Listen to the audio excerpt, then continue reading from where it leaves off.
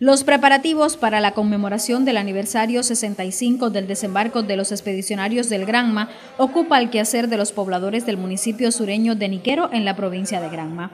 Varias acciones de conservación se ejecutan en el Monumento Nacional de las Coloradas, sitio histórico que eterniza la epopeya de aquellos valerosos hombres el 2 de diciembre de 1956. En estos momentos estamos dándole una conservación a todo el área expositiva que tenemos en el, en el inmueble, en las áreas exteriores, eh, porque también se dañan un poco la salinidad del lugar, todos los elementos de apoyo que hablan y refieren lo ocurrido en este sitio.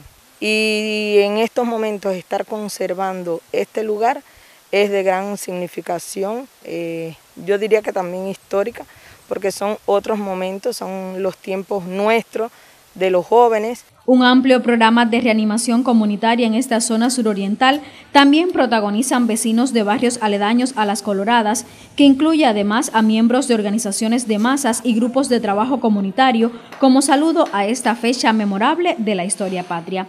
Los jóvenes serán los principales protagonistas de las actividades que rendirán tributo a la gesta del Granma, que marcó el comienzo de un nuevo periodo en el camino de lucha por la libertad definitiva. El programa iniciará desde el primero de diciembre. Una actividad comunitaria, un con todo para el barrio, donde la Unión de Jóvenes Comunistas, en conjunto con los movimientos juveniles, eh, las organizaciones estudiantiles, van a estar intercambiando, realizando eh, diversas actividades con la comunidad.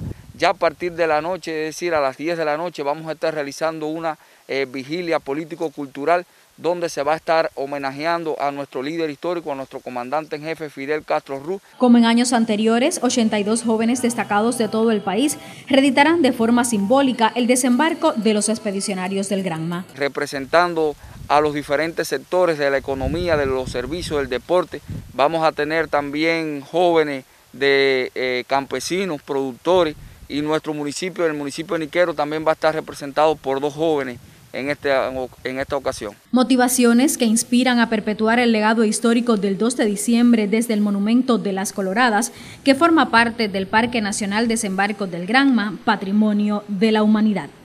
Este sitio patrimonial acogerá el 2 de diciembre el acto de vocación de la epopeya de los expedicionarios del Yate Granma, que hace 65 años, liderados por Fidel Castro, cambiaron el rumbo del proceso revolucionario cubano.